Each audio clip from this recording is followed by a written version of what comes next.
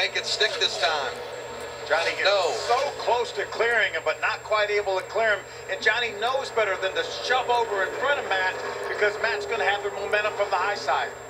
Look at how close they get here. Don't try this at home.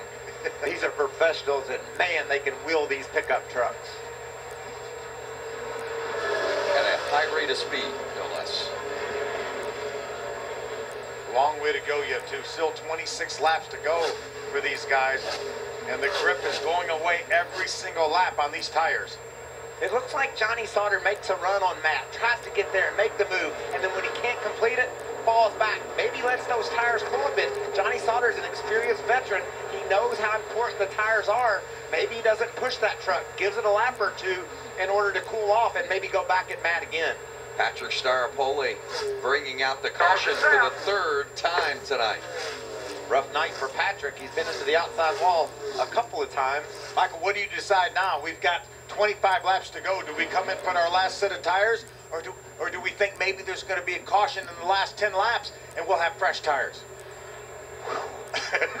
That, that question is very interesting, Phil, because all four of our championship contenders are inside the top 10 right now. If one of them says, I'm not pitting, that could end his championship hopes. I think they got a bit. The spring rubbers were probably most effective. I'm probably going to have it put some wedge in the left rear uh, on this last stop. Take the rubber out of the right rear as well. Can't, can't do it. I ain't got time. Got to keep track position. Talking about the strategy on the pit stop, that's Jerry Baxter, the crew chief, and Christopher Bell. Remember, remember how I said early in the race they could make those changes and have a long pit stop? That's over with. Jerry Baxter knows it. He said, I can't pull the rubber out. I got to make air tra- air pressure adjustments, maybe a track bar. But we need a fast stop here. I think they all have to come. I don't know? think anybody's even thinking about staying out here. You know, you guys were talking about would we get another yellow late in the race? You look back at the history here, the final green flag stretch, four laps or less in seven of the last nine races here at Homestead. So history says we're going to get another caution late, but can you count on it, or do you have to come I, I out don't think we can take a chance, Vince. We got to come down pit road. And here they come.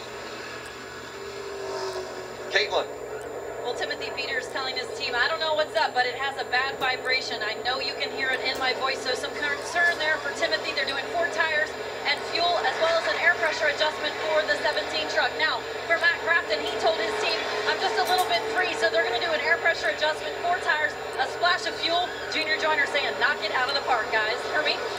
21 of Johnny Sauter, a little bit tight. Four tires, one can of fuel, a little bit of wedge out.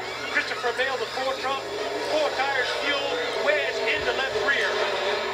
How about that pit work for Matt Crafton? Wow. Less than 13 seconds for Matt Crafton, and Reddick still beats him off pit road. Good job, boys. Strategy coming there. Ben Rhodes, Spencer Gallagher, just two tires. How will that play out? less than 25 to go.